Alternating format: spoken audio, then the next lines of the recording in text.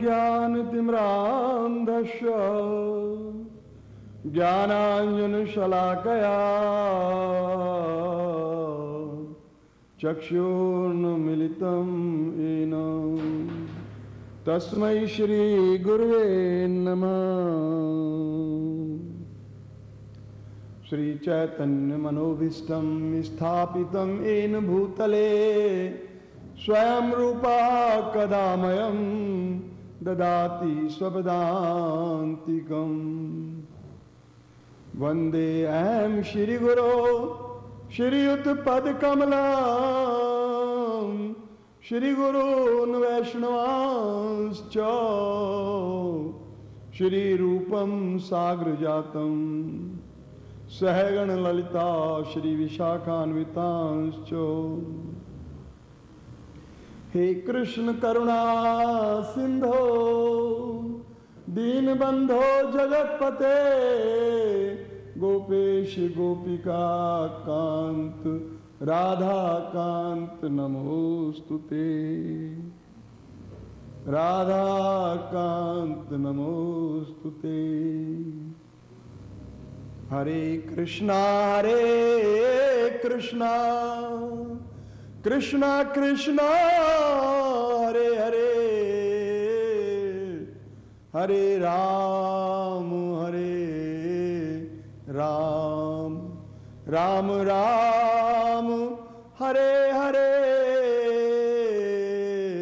राम राम, हरे हरे। जय गोपाल। आइए मेरे बहन भाइयों सत्संग प्रेमी जनों स्वागत है आपका श्रीमद् भागवत गीता के इस सत्संग में। गीता शास्त्र मिदम पुण्यम यह पठित प्रियत है पुमान, विष्णु पदम एवापनोति भय शोक आदि वर्जित आइए भगवान श्री कृष्ण को प्रणाम कीजिए। ओम नमो भगवते वासुदेवाय। ओम नमो भगवते वासुदेवाय। ओम नमो भगवते वासुदेवाय। नारायणं नमस्कृत्यं नरं चैव नरोत्तमम् देवीं सरस्वतीं व्यासं ततो जयामुदीरयेत् नष्टप्रायेषु अभद्रेषु नित्यं भागवत सेवया। भगवते उत्तम श्लोके भक्तिर्भवती नष्ट की ओम शांति शांति शांति। जय गोपाल। श्रीमद् भागवत गीता अध्याय सात, श्लोक संख्या 19 भगवान श्री कृष्ण अपने शिष्य अर्जुन को उपदेश करते हुए आगे बढ़ रहे हैं। प्रत्येक गुरु अपने शिष्य को पारंगत करता है, हर बात में दक्ष करता है, हर कला में। ऐसा पारंगत करता है कि वह पवित्र हो जाता है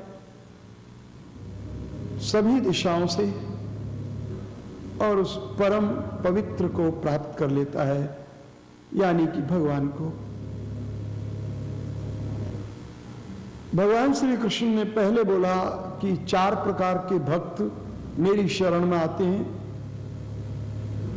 और चार प्रकार के जन मेरी शरण में नहीं आते, ना मुझे पहचानते।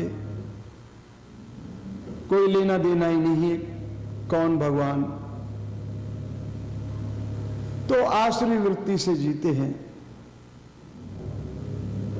भगवान ने कहा कि नैमाम दुष्कृतनो मूढ़ा प्रपद्यंते नराधमा माया अपहृत ज्ञान आसुरम भावमाश्रिता इस चार प्रकार के व्यक्ति, जो एक तो असुर राक्षसी स्वभाव के होते हैं।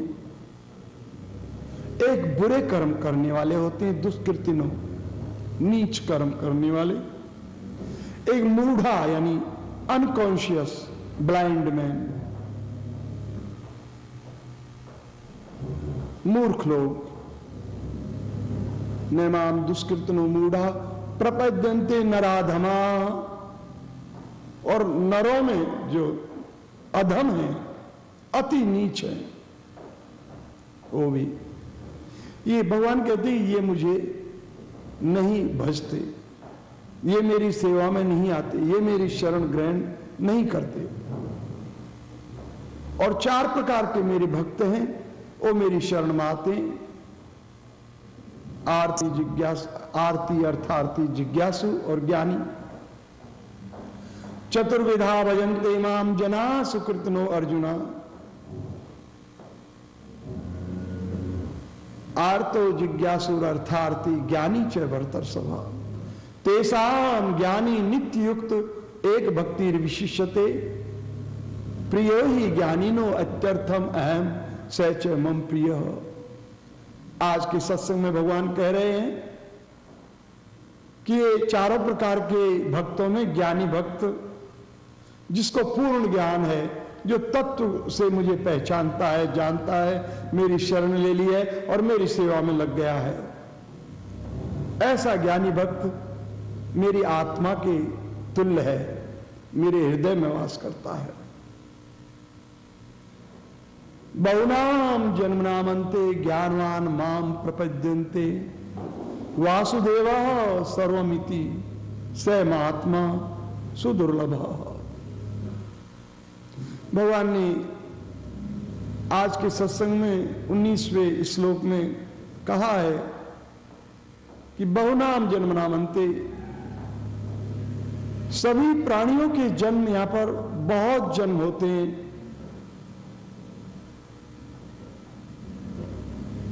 आप में से कोई भी हो, सभी के करोड़ों जन्म हो चुके। कभी इस पृथ्वी पर, कभी ऊपर के लोकों में, कभी नीचे के लोकों में, कभी छोटे कीट पतंगों में कभी जानवरों में, पशुओं में, पक्षियों में, जलचरों में, कभी बानरों में, कभी नरों में, नारियों में, कभी सुरों में, सुंदरियों में, अप्सराओं में, असुरों में, दानवों में, दैत्यों में। प्रत्येक व्यक्ति के अपने अपने कर्मों के अनुसार अपनी अपनी कॉन्शियस के अनुसार भावना के अनुसार अनेकों जन्म होते हैं।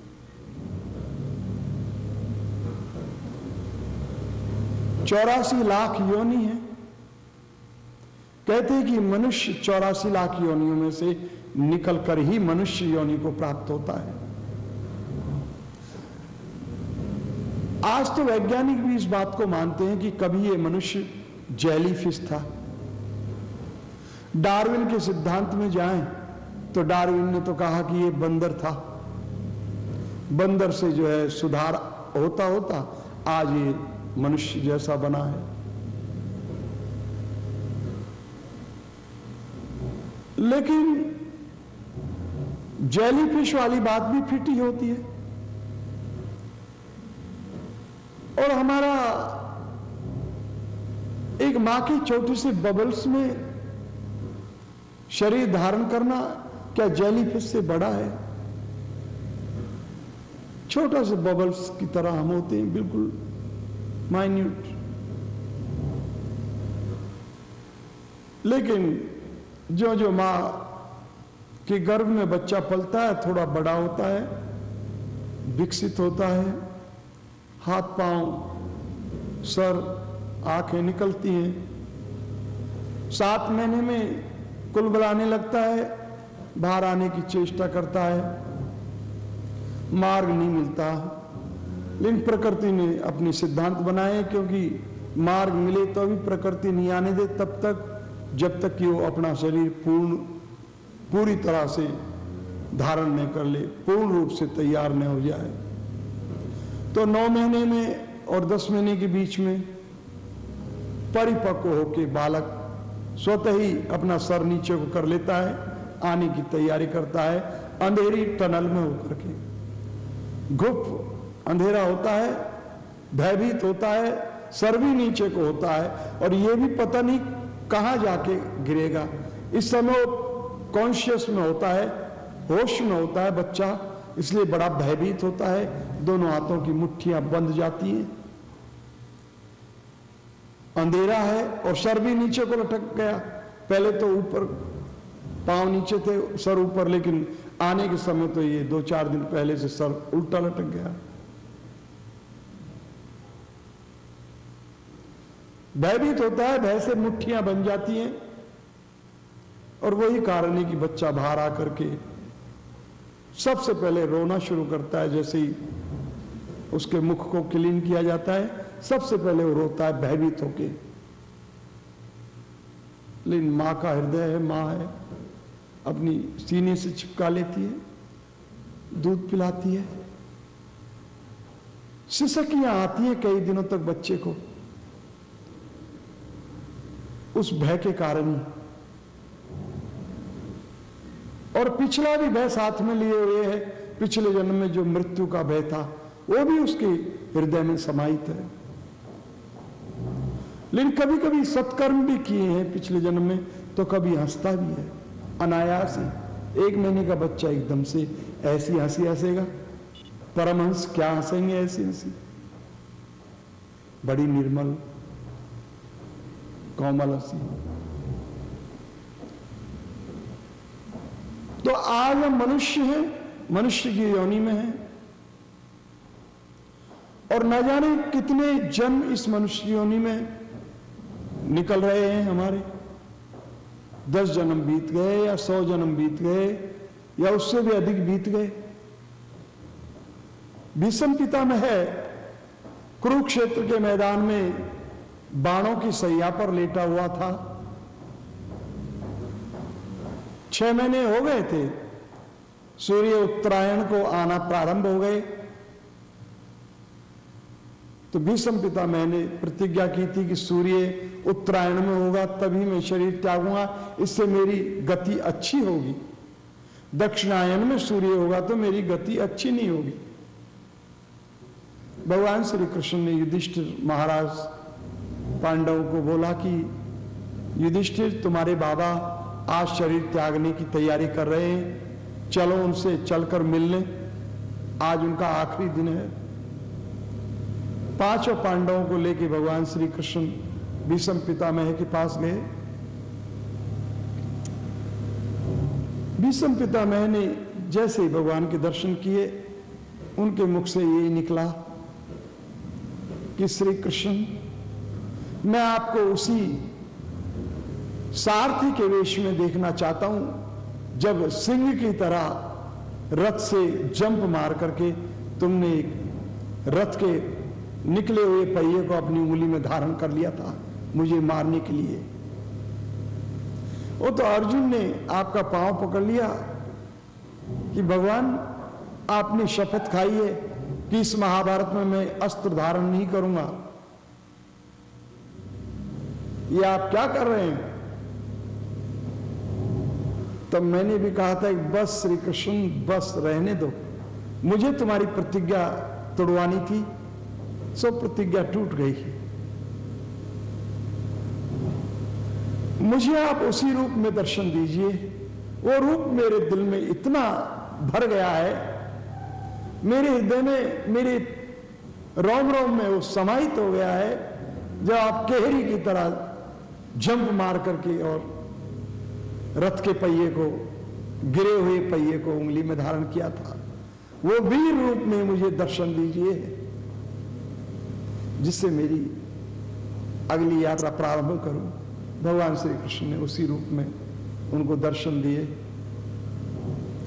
लेकिन भीष्म पिता मैंने एक प्रश्न भी किया कि, हे कृष्ण, अब मैं एक प्रश्न और मेरे हृदय में है, अंतिम प्रश्न उसका भी जवाब दे दीजिए। मैंने कौन से ऐसे कर्म किए हैं जिनसे मैं छह महीने तक ये बाणों की सैया पर, सेज पर लेटा हुआ हूँ? रक्त बह रहा है शरीर कांटा हो गया है, इन कांटों में पड़े पड़े। कौन सा ऐसा मैंने जघन्य अपराध किया है प्रभु? ये मुझे आप मैंने ध्यान लगाकर देखा है कि मेरे सौ जन्मों में, पिछले सौ जन्मों में भी मैंने कोई ऐसा जघन्य अपराध नहीं किया। मैंने कोई अपराध किया ही नहीं कि मुझे इतनी बड़ी कठोर सजा मिले। छह महीने तक ये बाणों के ऊपर लेटा हुआ हूँ। इतनी बेदर्दी से वीरों ने मुझे बाण मारे हैं, अर्जुन ने तुम्हारे। भगवान श्री कृष्ण कहते हैं कि आपने सौ जन्मों में कुछ नहीं किया, लेकिन आप फिर से ध्यान लगाकर देखो कि 101वें जन्म में जाके देखो कि आप क्या कर रहे हैं। तो भीषम पिता मैंने कहा कि ठीक है, मैं जाने की कोशिश करता हूँ। ध्यान लगाया, कहने लगे कि तो क्या हुआ कृष्ण? 101वें जन्म में मैं छोटा बालक हूँ, घुटनों के बल चलता हुआ, मेरे हाथ में एक सुई आ गई कहीं से, और मैं ज़मीन पर चलती हुई चींटियों को उस सुई में चुबो रहा हूँ। मुझे तो मालूम नहीं है कि ये कोई अपराध है। मैं तो बालक हूँ उस समय, छोटा सा। इसकी भी मुझे सजा मिल रही है।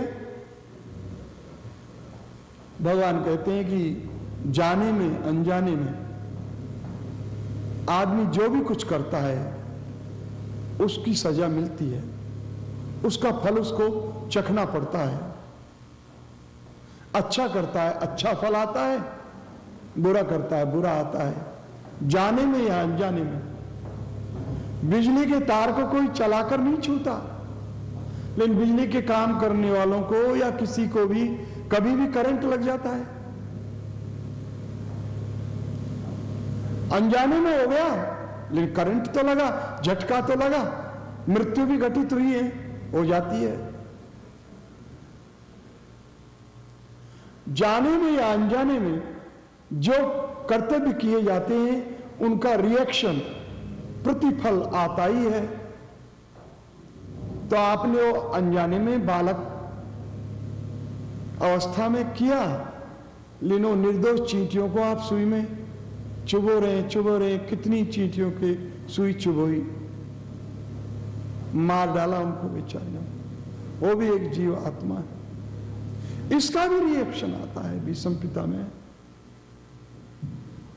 धन्य हो केशव, आपकी लीला को कोई नहीं समझ सकता। अब मुझे अनुमति दीजिए, मैं जाना चाहता हूँ।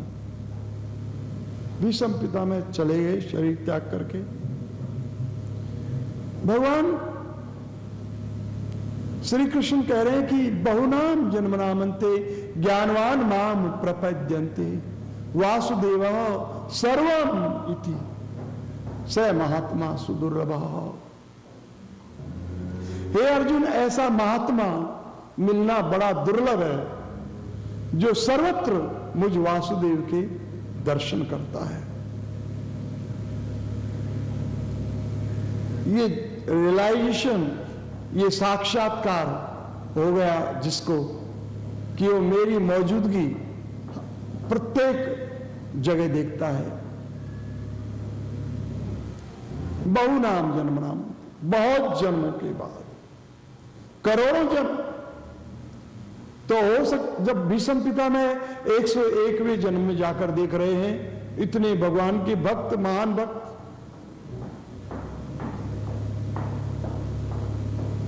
भगवान श्री कृष्ण को भीषम पिता में बहुत प्राणों से भी प्यारे समझते थे सदैव। कृष्ण की बात को कभी नहीं काटते थे।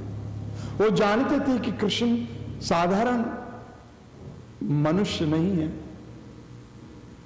लेकिन उनको पूर्ण जानकारी भी नहीं हो पाती थी कि ये स्वयं नारायण है। लेकिन मनुष्यों से अति ऊँचे स्तर पर उनको ज़रूर देखते थे, उनकी बात को कभी काटते नहीं थे।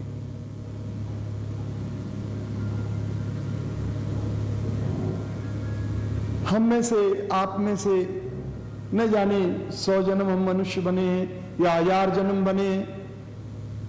जैसे चित्रकेतु के बेटे कह रहे हैं कि पिताजी, मुझे बेटा मत कहिए।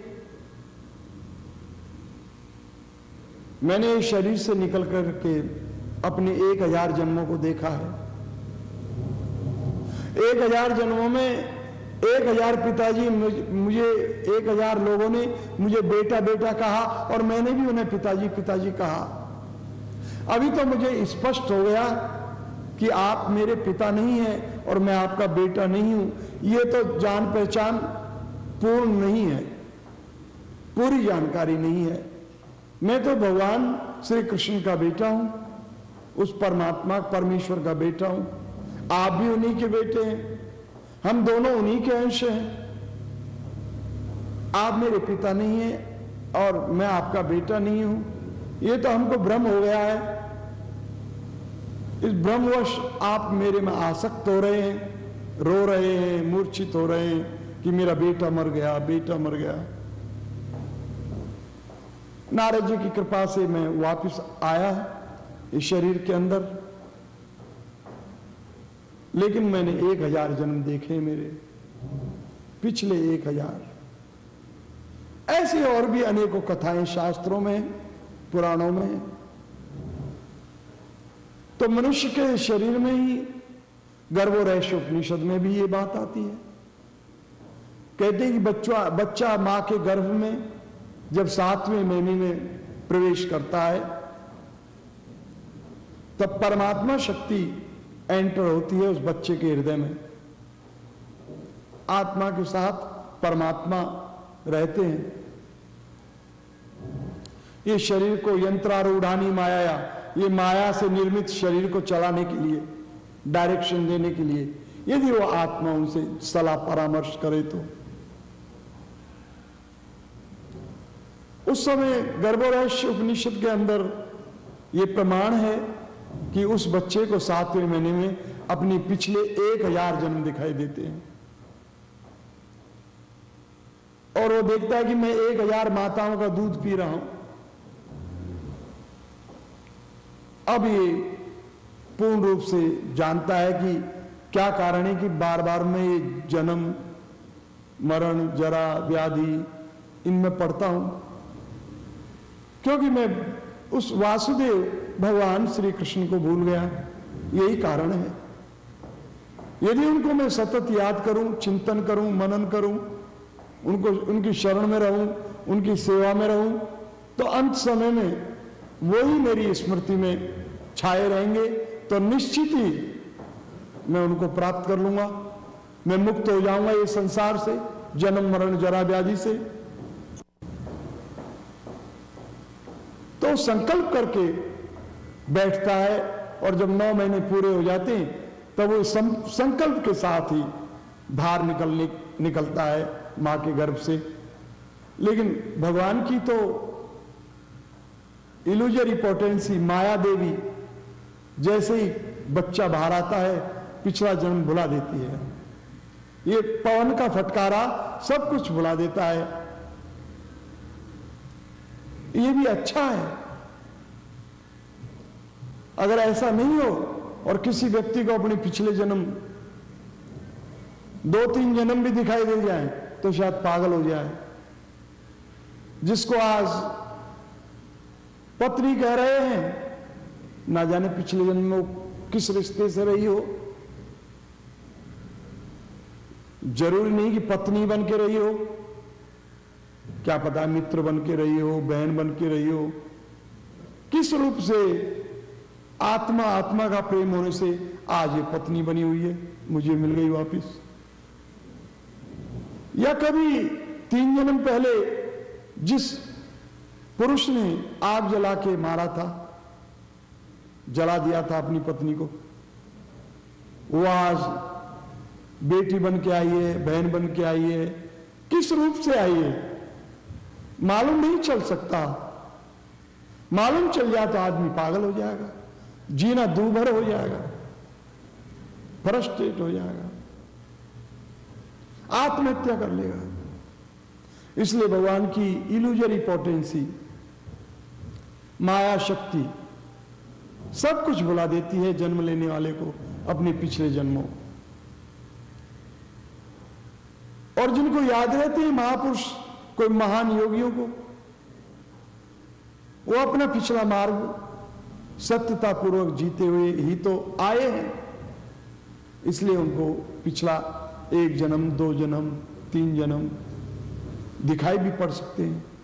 या प्योरिटी होने पर सब कुछ, फिर उनको कोई बुद्धि पर, मन मस्तिष्क पर कोई विकार पैदा नहीं होता। क्योंकि वो धनाढ़ होते हैं, आत्म साक्षात्कार किए हुए होते हैं। ये छोटी मोटी नीचे की वस्तुएँ उनको इफ़ेक्ट नहीं करती, नुकसान नहीं दे सकती। बहु बहुनाम जन्मनामंते ज्ञानवान माम प्रपद्यंते वासुदेव सर्वमिति। स महात्मा सुदुर्लभ। हे अर्जुन, ऐसा महात्मा मिलना बड़ा दुर्लभ है, कठिन है। मिलता है लेकिन ऐसा महात्मा ये नहीं, मिलता नहीं है। मिलता है, लेकिन बड़ा, बड़ी दुर्लभता से। कभी कभी तो लोगों को मालूम भी नहीं होता कि ऐसा कोई महात्मा जो सर्वत्र भगवान के दर्शन करता है, वो कहाँ होगा, कहाँ पर होगा, कैसे उनके दर्शन हो जाए? नहीं हो पाते, महात्मा लुप्त हो जाते हैं। या फिर ऐसे वस्त्रों में, ऐसी दशा में हो जाते हैं कि लोग उनको पहचाने, पहचानने से इनकार कर देते हैं। फिर तो लोग उनको कोई भिकारी समझता है या कोई मेंटल डिसीज समझता है। या कोई सन की समझता है। महात्मा भी अपने आप को छुपा लेते हैं और कोई कोई महात्मा अपन को अपने रूप को दिखाना भी चाहें। तो संसारिक लोग उसे मारने आते हैं। जैसे बुद्ध को मारने की कोशिश की, भारत से तो मार के भगा दिया था। लाइब्रेरी में आग लगा दी थी बुद्ध भगवान कलकत्ता के अंदर। गुरु नानक देव आए, उनके साथ भी घटना घटी। मंसूर के हाथ पाँव काट दिए और फांसी चढ़ा दिया। तुकाराम को जहर पिला दिया। सूफी फकीर तुकाराम, जो उस अल्लाह को सर्वत्र देखता था। अनलग अल्लाह सर्वत्र है, जहर पिला दिया। मीराबाई को भी जहर पिला दिया था। मीराबाई का दोष क्या था? पग घुंगरू बाँध, मीरा ना चीरे। उस परमेश्वर के प्यार में पागल होके वो नाचती थी, गाती थी। इतना श्रेष्ठ कार्य करते, लोग देख नहीं सकते। जलते हैं। कोई ऊपर को उठना चाहे, उसको पकड़ के नीचे गिराते हैं। मार देते हैं कि दोबारा नहीं उठ जाए। जीसस को फांसी चढ़ा दी। वासुदेव सर्वमिति, स महात्मा सुदुर्लभा। ये बड़े दुर्लभ है ऐसे महात्माओं के दर्शन, और कभी हो भी जाए तो लोग समाज मार डालता है। क्योंकि ऐसे संत आडंबर का पर्दाफाश कर रहे हैं तो आडंबर ही उनको देखना नहीं चाहते। जो समाज को आडंबर के साय से भ्रमित करते हैं, भ्रमित करते हैं उल्टी पट्टी पढ़ाते हैं डराते हैं समाज